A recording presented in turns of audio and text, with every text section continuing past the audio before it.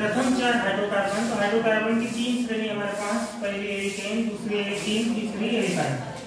तो एल्केन सजातीय श्रेणी का सामान्य सूत्र होता है C N H two N plus two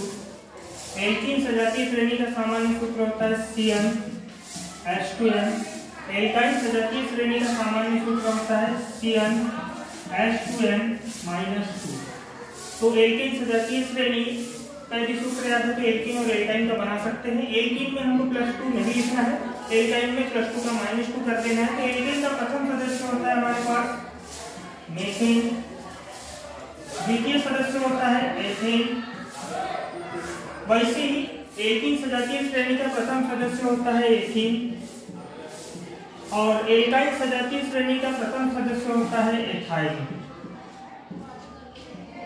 तो टेंथ की एग्ज़ाम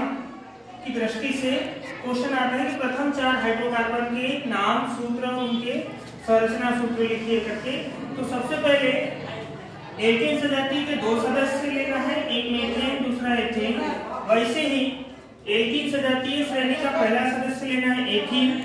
और एल्काइन सजातीय श्रेणी का भी पहला सदस्य लेना है। तो हमको प्रथम चार हाइड्रोकार्बन यानी एल्केन के दो सदस्य मेथेन और एथेन एल्कीन के दो सदस्य एथीन और एल्काइन का एक सदस्य एथाइन तो ऐसे चार सदस्य लेना है हमको। तो प्रथम चार हाइड्रोकार्बन लिखने के लिए हम सबसे पहले लिख लेंगे हाइड्रोकार्बन का नाम, उसके पश्चात उसका सूत्र और उसके पश्चात उसका संरचना तो एल्केन सजातीय श्रेणी से दो सदस्य लेना है, सबसे पहले लेना है मेथेन दूसरा सदस्य लेना है एथेन तीसरा सदस्य लेना है हमको एल्किन सजातीय श्रेणी से एथीन चौथा सदस्य लेना है हमको एल्काइन सजातीय श्रेणी से एथाइल तो एल्केन सजातीय श्रेणी के दो सदस्य ले लिए हमने, पहला मेथेन दूसरा एथेन एल्किन सजातीय श्रेणी से पहला सदस्य ले लिया एथीन और एल्काइन सजातीय श्रेणी से पहला सदस्य ले लिया एथाइल अब इनके सूत्र लिखना है तो मेथेन का सूत्र होता है CH4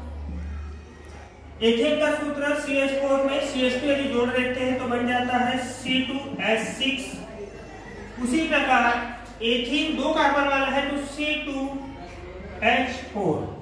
तो एथीन का सूत्र बन जाएगा C2H4 एथाइल भी दो कार्बन वाला है तो C2H2 तो इनके सामान्य सूत्र से हम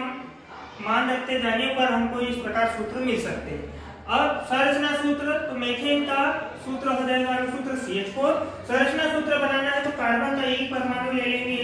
और हाइड्रोजन के हम चार परमाणु ले लेंगे तो संरचना सूत्र बन गया मेथेन का CH4 इसी प्रकार एथेन का संरचना सूत्र बनाना है तो दो कार्बन परमाणु लेना पड़ेगा, उनके बीच में सिंगल बॉन्ड और दोनों तरफ़ हमको हाइड्रोजन जोड़ना पड़ेगा, छह हाइड्रोजन है तो एक, दो, तीन चार, पाँच और छ।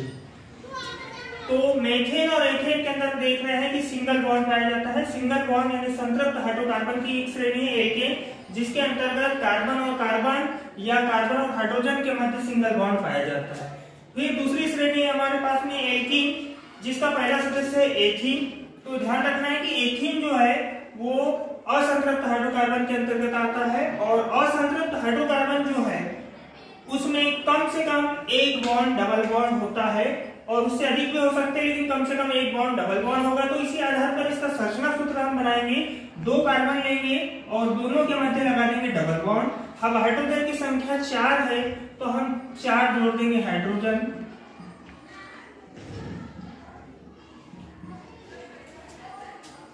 तो एक बॉन्ड डबल बॉन्ड हो गया। है संरचना सूत्र को देखकर ही हम बता सकते हैं कि जिसमें सिर्फ़ सिंगल बॉन्ड दिखाई दे, वो संतृप्त हाइड्रोकार्बन होगा। जिसमें डबल बॉन्ड दिखाई दे, वो असंतृप्त हाइड्रोकार्बन होगा। असंतृप्त हाइड्रोकार्बन में ये एल्किन सजातीय श्रेणी है, क्योंकि इसमें एक बॉन्ड डबल बॉन्ड है। अब एल्काइन सजातीय श्रेणी का प्रथम सदस्य एथाइल जिसका सूत्र होता है C2H2 अब इसमें हमको दो कार्बन लेना है।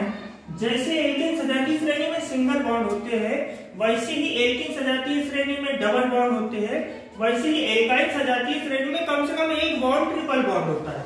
तो एक, दो, तीन। अब हाइड्रोजन लेना है हमको दो, एक, और दो। तो इस प्रकार आप संरचना सूत्र को देख करके बता सकते हैं कि कौन सी श्रेणी है, संतृप्त है या असंतृप्त है।